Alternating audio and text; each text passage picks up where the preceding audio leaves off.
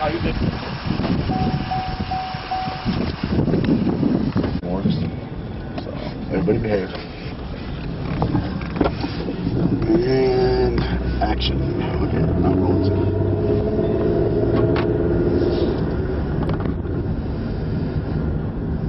Passing retreat view, long retreat view.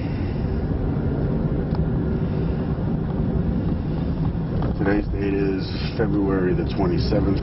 It's now 5:20 in the afternoon, 17:20 hours. And this is reference to Sanford Police case number 2012 5000 1136. 1136. This is where he tells me first season. First spots in here? Yeah. Okay.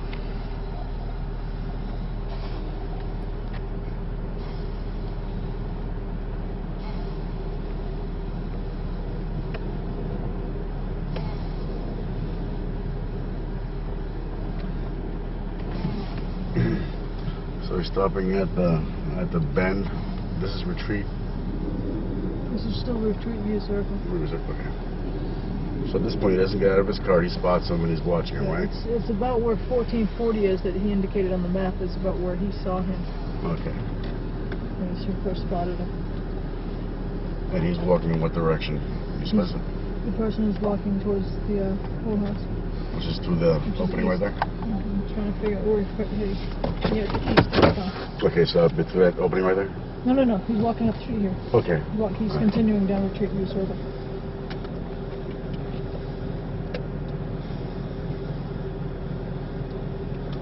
Why don't you go ahead and ride with him to get the audio from inside there? See what he's talking about? Well, I guess not. He's gonna stop again up here because he's. Okay. Let him get in the thing. Yeah, you do that? Yeah. Alright, I'm gonna pause it. Let him. Pick him up at. Right here, right in front of this house. Okay. Right in front of 1460. Yes, sir. All right. And what was he? He was walking in between the buildings, or He was walking like in the grassy area, like up towards, kind of between these two poles, and Mhm. like I said, it was rainy, and he wasn't. He was just leisurely looking at the house, and uh, I, like I said, my wife is. I left for the grocery store, and I just felt like something was off about him. Right. So I said, and there's been a history of uh, break-ins in that building, and I called previously about this house. right?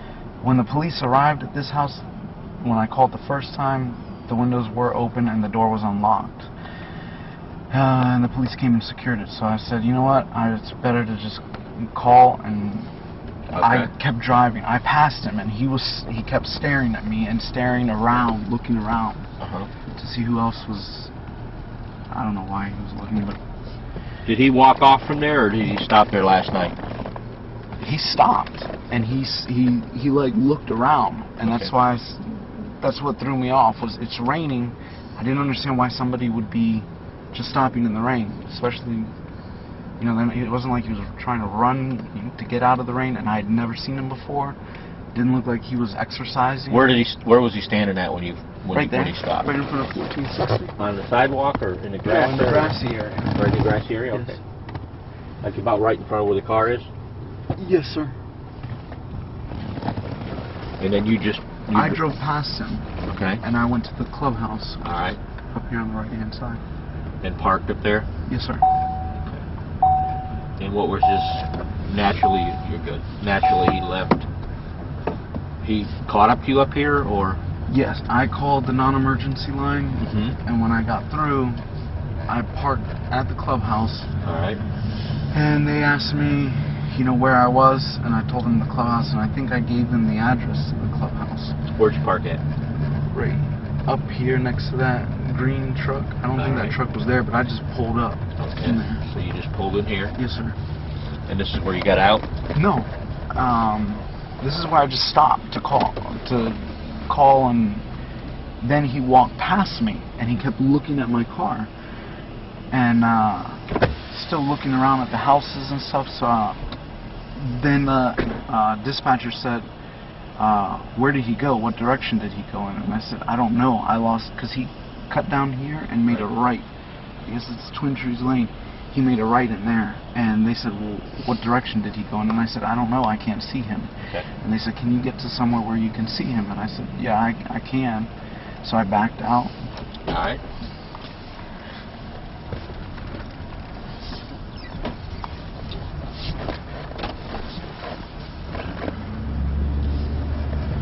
And I made this right here.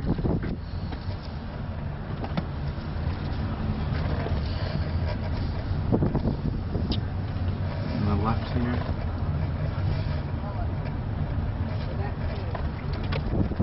And I parked right about where that sign is in the yard.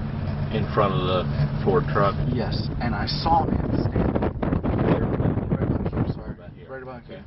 And I saw him walking back that way and then cut through the back of the houses. He looked back and he noticed me and he cut back through the houses.